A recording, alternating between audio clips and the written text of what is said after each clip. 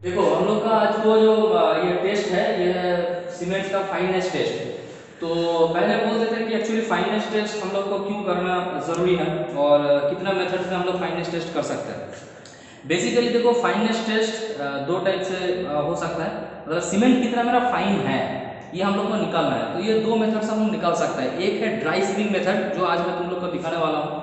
और सेकेंड जो मेथड है, वो एक apparatus से मेजर किया जाता है, उसका नाम है ब्लेंस एयर परमेबिलिटी apparatus. नाम थोड़ा याद रखना, थोड़ा क्रिटिकल है. Blaine's B L A I N S N apostrophe S Blaine's air permeability apparatus. तो दो दो मेथड है, एक है ड्राई सीलिंग मेथड एक है Blaine's Blaine's air permeability test apparatus. ये दो मेथड से हम लोग सीमेंट कितना फाइन है, ये हम लोग निकाल सकते हैं. मतलब फाइननेस ऑफ़ सीमेंट हम लोग निकाल सकते हैं. तो ये हम लोग का क्या है? देखो बेसिकली ये सीमेंट का जो सैंपल लिया लिया मैंने, ये बाद में आऊँगा कौन सा क्या है, कैसे मिला है। ये देखो, इसको बोलते हैं sieve S I E V ई इसको बोलते हैं सीव ये जो सीव है, ये एक एक साइज़ होता है, ठीक है?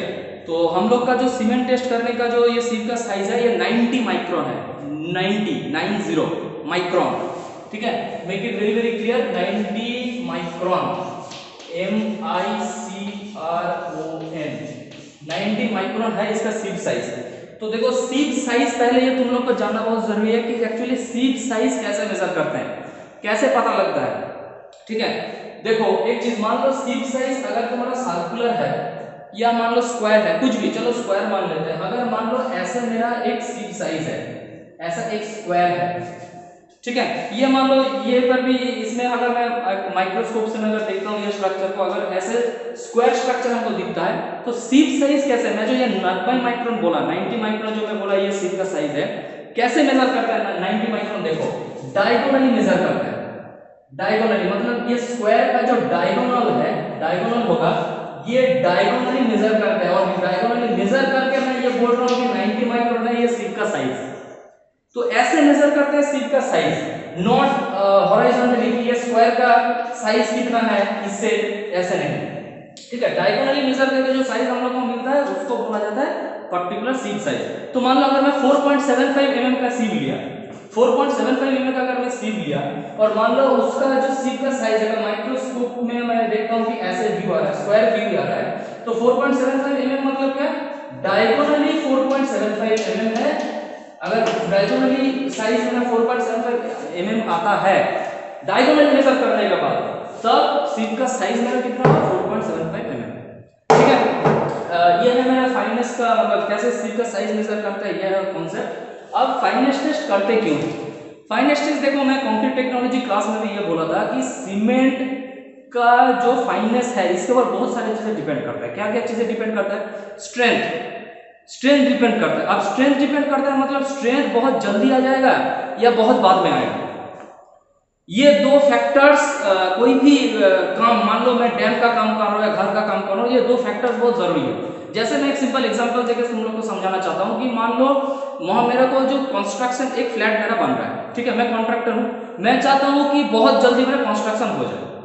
बहुत जल्दी मतलब मैं कोई गलत या इम्प्रॉपर मटेरियल्स में यूज़ नहीं कर रहा हूँ मैं सही तरीके से, सही बहुत अच्छा अच्छा सब सारे मटेरियल्स में यूज़ कर रहा हूँ और अप्रोप्रिएट क्वांटिटीज में। लेकिन मैं चाहता हूँ कि मेरा जो ये अट्ठाईस, मैं तुम लोग को बोला कि जनरली अट्ठाईस दिन तक क्योर क्योरिंग करने का नियम है। उससे पहले फॉर्म वर्क जो पाटा वगैरह लगा रहता है, उसका रिमूव रिमूवल अलाउड नहीं है as per I S code as पर I S four five six two thousand लेकिन मान लो मेरा कंस्ट्रक्शन बहुत स्पीडीली चाहिए। फ्लैट जो है मेरा फाइव स्टोरी का फ्लैट बनेगा within two two three months आपको बनाना है वो। ठीक है? तो मैं किस टाइप का सीमेंट यूज़ करूँगा? क्यों यूज़ करूँगा? मैं रैपिड हार्डनिंग सीमेंट यूज़ करना चाहूँगा। जहाँ पे अर्ली रिमूवल ऑफ़ फॉर्मर का ज़रूरत है। तो रिमूव कर दिया, बहुत जल्दी कंस्ट्रक्शन चाहिए। इसका मतलब ये तो नहीं कि स्ट्रेंथ कोई भी आ जाने से चलेगा। नहीं। स्ट्रेंथ मेरे को अर्ली आ जाना चाहिए। मतलब जो स्ट्रेंथ ओपीसी यूज़ करके मेरा 10 दिन बाद आता, वो तीन दिन में मेरा आ जाएगा। तो देखो, ये जो स्ट्रेंथ है ना, ये strength is also function of fineness of cement cement का जैसे रैपिड हार्डनिंग सीमेंट जो है, इसका बहुत फाइन पार्टिकल्स रहता है। बहुत फाइन बहुत फाइन पार्टिकल्स रहता है, इसीलिए रैपिड हार्डनिंग सीमेंट में जो स्ट्रेंथ है, ये बहुत अर्ली आ जाता है, बहुत जल्दी आ जाता है एज कंपेयर टू ओपीसी सात दिन ओपीसी जो स्ट्रेंथ देगा रैपिड हार्डनिंग सीमेंट को तीन दिन या एक दिन में दे देगा। तो देखो फाइननेस जो है, इसके ऊपर डिपेंड करता है मेरा स्ट्रेंथ इसके ऊपर और भी दो तीन फैक्टर डिपेंड करता है, वो मैं थोड़ा थोड़ा करके डिस्कस करूँगा. वो है हीट ऑफ़ हाइड्रेशन जितना फाइन जितना सीमेंट का फाइननेस जितना बहुत बढ़िया होगा मतलब जितना सीमेंट जितना ज़्यादा मेरा फाइन होगा, उसका हाइट ऑफ़ हाइड्रेशन भी उतना ज़्यादा होगा. तो हीट ऑफ़ हाइड्रेशन ज़्यादा होगा, इसका मान लो एक सीमेंट मेरा बहुत ज़्यादा फाइन है मतलब हीट ऑफ़ हाइड्रेशन उसका ज़्यादा होगा। तो हीट ऑफ़ हाइड्रेशन ज़्यादा का मतलब क्या है? उसको मैं मास कॉन्क्रीटिंग जो है लाइक डैम वगैरह, उसमें मैं यूज़ नहीं कर सकता। क्योंकि हीट ऑफ़ हाइड्रेशन मैं तुम लोग को क्लास में भी पढ़ा चुका हूँ कि हीट ऑफ़ हाइड्रेशन जो सीमेंट ज़्यादा प्रोड्यूस करेगा डैम वगैरह में बहुत जल्दी क्रैक भर जाएगा। ठीक है? तो heat of hydration is also function of fineness of cement shrinkage shrinkage जो मैं तुम लोग का कॉन्क्रीट टेक्नोलॉजी क्लास में भी पढ़ा है कि ड्राइंग श्रिंकेज जब कंक्रीटिंग हम लोग करते हैं with due course of time concreting करने के बाद जब पानी इवेपोरेट होकर निकलता है वो कंक्रीट से, तब क्या होता है? वो कंक्रीट जो है, वो श्रिंक करता है। उसमें श्रिंकेज आ जाता है। उसको बोलते हैं drying shrinkage shrinkage of concrete shrinkage बहुत टाइप्स के होते हैं। ड्राइंग श्रिंकेज की मैं बात कर रहा हूँ तो उसमें ड्राइंग श्रिंकेज आता है। तो फाइननेस के ऊपर मेरा श्रिंकेज भी डिपेंड करता है। तो इसीलिए मान लो ये पर्टिकुलर एक सीमेंट का फाइननेस टेस्ट करना इसीलिए ज़रूरी है, ये सारे चीज़ें, क्योंकि मान लो जिस काम पे मैं यूज़ कर रहा हूँ डैम वगैरह काम में मान लो मेरा यूज़ कर रहा हूँ, उसमें इतना प्रोजेक्ट इतना करोड़ करोड़ रुपए उतना खर्चा होता है। तो अगर मेरा स्ट्रक्चर ठीक से नहीं मेरा खड़ा होता है, या मान लो स्ट्रक्चर क्रैकिंग के चलते बहुत जिसका उसमें लाइफ पीरियड है डिज़ाइन लाइफ पीरियड उससे पहले खत्म हो जाता है तो मेरा इतना करोड़ करोड़ रुपया पूरा लॉस ठीक है? तो it is not at all desirable इसीलिए ये जो भी तीन गो प्रॉपर्टीज़ बोला shrinkage heat of hydration strength ये सारे चीज़ें के ऊपर डिपेंड करता है मेरा ये फाइननेस फाइननेस जैसे होगा, ये तीनों चीज़ें जो है, वैसा होगा। अब ये क्वेश्चन ये है कि फाइननेस टेस्ट क्यों करते हैं इसमें है? अब ये क्वेश्चन है कि sir why only 90 micron sieve बहुत सारे साइज़ के होते हैं। 75 5 माइक्रोन भी होता है। 4.75 माइक्रोन भी होता है। Up to eighty to ninety M तक भी सी होता है, जिसको वो बोल्डर साइज़ आ जाता है। 90 micron sieve make it very very clear 90 micron sieve हम लोग इसीलिए फाइनल स्टेज में यूज़ कर रहे हैं, क्योंकि for OPC PSC and most of cements average particle distribution of cement particles is less than 900 micron मतलब एक एवरेज ऑन एन एवरेज जो जो सारे सीमेंट पार्टिकल्स रहते हैं, सारे तो एक साइज़ के नहीं रहते तो इसीलिए मैं एवरेज ले ले रहा हूँ। ऑन एन एवरेज जो सारे सीमेंट पार्टिकल्स रहते हैं, उसका size range generally 90 to 100 micron में वेरी करता है। ये उसका रेंज है। मतलब definitely all average particle size distribution of all the cement particles that have been present in a particular cement sample is always less than 100 micron. तो average particle size एक cement में जो रहता है एवरेज पार्टिकल साइज़ डिस्ट्रीब्यूशन वो 100 micron के नीचे ही रहता है। इसीलिए हम लोग 90 माइक्रोन का सीप यूज़ कर रहे हैं। ठीक है? ये गया फाइनेंस का सारे इंट्रोडक्शन अब देखो हम लोग फाइनेंस टेस्ट कैसे कर रहे हैं। पहले हम लोग देखो, ये जो तीन पेज में तुम लोग का रखा हुआ है तीन गो पेज में जो सीमेंट है, ये अलग अलग इसका डिनोशन है। क्या क्या डिनोट करता है देखो। फ़र्स्ट ऑफ़ ऑल हम लोग को क्या करना है, हम लोग का ये सीव का वेट लेना है। किसमें वेट लेना है? वेइंग बैलेंस बोलते हैं इसको। ठीक है, जितना ग्रोसरी शॉप में एक वेइंग बैलेंस रखा जाता है तो वेइंग बैलेंस में ये सीव का वेट रखना है। ठीक है, मान लो ये सीप का जो वेट है, ये तुम्हारा कैलकुलेशन देखो बोर्ड में ऑलरेडी दिया हुआ है। सीपी में एक बार डिटेल्स में बता देता हूँ कि मान लो सीप का जो वेट है सीप का वेट है, मान लो सीप का वेट है, मान लो डब्ल्यू वन ठीक है डब्ल्यू वन ग्राम। ठीक है तो मैं क्या एक पर्टिकुलर लगभग 500 से seven five hundred grams to 850 या 900 ग्राम्स का मैं सीमेंट लूँगा। थोड़ा ज़्यादा लूँगा क्योंकि इसमें सीप करूँगा ना तो नीचे से जैसा मैदा नीचे पड़ जाता है, ठीक है? वैसे क्या होगा, ये सीप क्या होगा, नीचे से थोड़ा लॉस होकर गिर जाएगा। जब इसको सीप करेंगे ऐसे, ठीक है? तो क्या होगा इन्वायरमेंट में कुछ लॉस होगा इधर उधर ठीक है? तो इसीलिए थोड़ा अमाउंट में ज़्यादा लेंगे। तो लगभग मान लो 500 टू 950 ग्राम्स के करीब में मान लो सीमेंट लिया। सीमेंट लेने के बाद मैं क्या करूँगा, ये सीप का मैं पहले ये ले लिया वेट ले लिया। मैं वेट सीप का वेट में कैसे डिनोट किया, मान लो डब्लू वन ग्राम अब मैं सीप किया, इसके ऊपर मैं सीमेंट को डाला और मैं ऐसे नॉट वर्टिकली हॉराइजॉन्टली मैं क्या करूँगा 10 मिनट्स तक इसको रिगरसली मैं ऐसे सीव करूँगा। By moving the sieve clockwise and anti clockwise like this okay तो 10 मिनट तक सीव करने के बाद क्या होगा? कुछ सीमेंट पार्टिकल्स इससे पास कर जाएगा। नीचे मेरा एक पैन रखा रहेगा। उस पैन में जाके मेरा क्या होगा? सीमेंट पार्टिकल्स मेरा क्या होगा? गिरेगा। डिपोजिट होगा।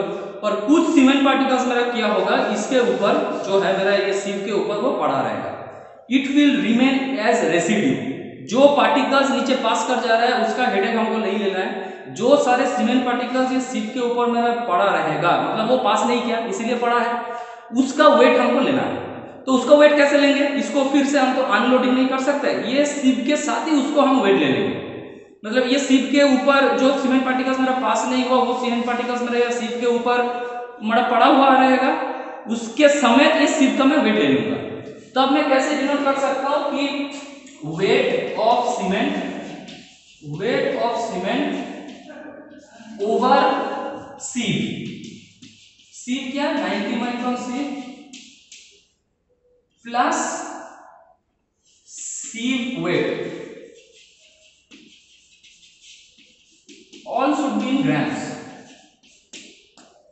ठीक है तो मैं क्या किया? पहले सीव का वेट लिया था डब्ल्यू वन ग्राम अब मैं क्या कर रहा हूँ? दस मिनट तक इसको सीव किया। सीव करने के बाद क्या कर रहा हूँ मैं? सीमेंट का वेट जो सीव के ऊपर मेरा पड़ा है, उसके साथ मैं सीव का वेट ले लिया। इसका मान लो वेट है डब्ल्यू टू ग्राम मान लो इसको मैं डब्ल्यू टू से डिनोट कर रहा हूँ। ठीक है? टोटल वेट मैं जो बोला पहले कि 500 ग्राम्स टू 850 या 950 ग्राम्स थोड़ा ज़्यादा लूँगा लॉस होगा इसीलिए वो जो मैं 50 to 950 total weight of cement जो मैं लिया था फॉर सीविंग उसका वेट मान लो मैं डिनोट कर रहा हूँ डब्ल्यू से। टोटल वेट फॉर सीविंग मान लो मैं डब्ल्यू से डिनोट कर रहा हूँ। ठीक है? अब मैं फाइनेंस को कैसे निकालूँगा? देखो फाइनेंस को मैं ऐसे निकालूँगा कि W2 minus W one W two मेरा क्या है?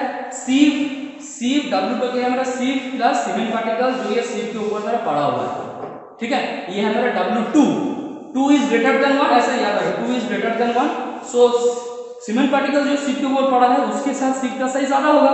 Definitely as compare to the single weight of the sieve तो इसको मैं डिनोट कर रहा हूँ W2 से। W2 मेरा क्या है? फिर से रिपीट कर देता हूँ। सीव का वेट प्लस सीव के ऊपर जो सीमेंट पार्टिकल्स मेरा सीव नहीं हुआ, इससे पास नहीं हुआ वो ऊपर पड़ा है, उसका वेट वो है मेरा W2 और W1 मेरा क्या था? एकदम शुरुआत में जो मैं सीव का वेट ले लिया था सिर्फ़ सीव का weight only weight of the sieve वो है मेरा W1 ठीक है?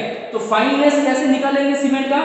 W2 माइनस W1 मतलब cement cement left as a residue over the sieve after sieving वो, उससे माइनस सीव का वेट मतलब हम फाइनली किसका वेट लेना चाहते हैं? द रेसिड्यूज वेट मतलब जो पार्टिकल सीमेंट पार्टिकल्स मेरा सीव नहीं हुआ है, उसका वेट मैं फाइनली ले रहा हूँ.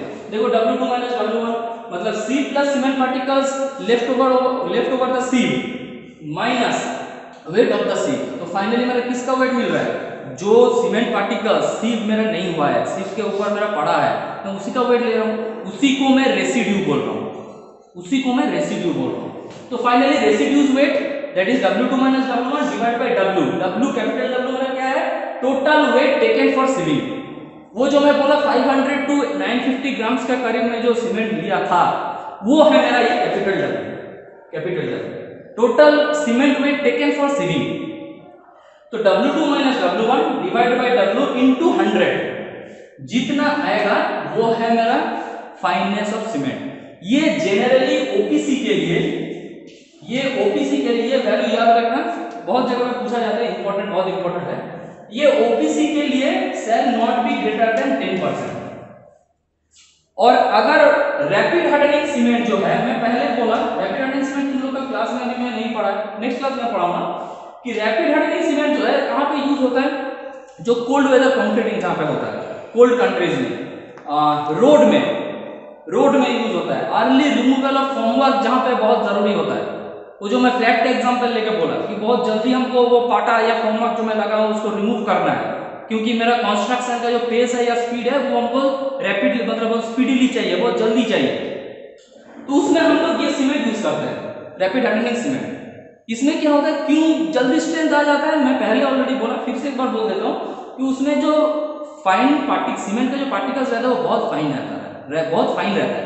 मतलब ओपीसी से भी ओपीसी से भी as compare to OPC higher finer grinding of cement particles are present in rapid hardening cement तो रैपिड हार्डनिंग सीमेंट में ये फाइननेस का value shall not be greater than five percent क्यों मैं बोल रहा हूँ not greater than five percent मैं इसीलिए बोल रहा हूँ not greater than five percent अगर मान लो रेसिड्यू ऊपर ज़्यादा है मतलब क्या? वो जो सीमेंट सैंपल में लिया, उसका एवरेज पार्टिकल साइज़ जो है, वो 90 माइक्रोन या 100 माइक्रोन से भी ज़्यादा है। मतलब क्या? वो ज़्यादा आ जा रहा है मतलब क्या? इम्प्यूरिटी ज़्यादा है। वो फर्नेस से जो सीमेंट जब निकला है ना, वो फर्नेस से इम्प्यूरिटीज बहुत ज़्यादा मात्रा में घुल मिल गया है वो सीमेंट के साथ। तो ये कंक्लूड हम लोग ये कंक्लूजन ड्रॉ कर सकते हैं, ये कंक्लूड कर सकते हैं। अगर ये परसेंटेज ज़्यादा आ जाता है हम लोग को मात्रा में, ठीक है? तो ओपीसी के लिए fineness shall not be greater than ten percent and rapid attendance cement के लिए shall not be greater than five percent finally एक चीज़ मैं बता देना चाहता हूँ। मैं तुम लोग को आई कोड के बारे में सब कुछ बता दिया। आज जैसे कि पीएससी बोर्डलैंड सिलेक्ट सीमेंट में I S four five four five five के अंडर वो कवर होता है। और ये फाइननेस ऑफ़ सीमेंट जो है, ये कौन सा कोड फॉलो करता है? ये याद रखना। तुम लोग का जो लैब में, बाद में आप लोग वाइवा लेंगे, उसके ऊपर एक मार्क्स रहता है, उसमें ये पूछा जा सकता है, कौन सा आईएस कोड फॉलो होता है, या कौन सा आईएस कोड के अंदर ये कवर होता है? Fineness test IS 4031 part one 1996 यार, अगर नहीं भी याद रहता है सिर्फ़ कोड याद रखना I S four zero three one part one ठीक है?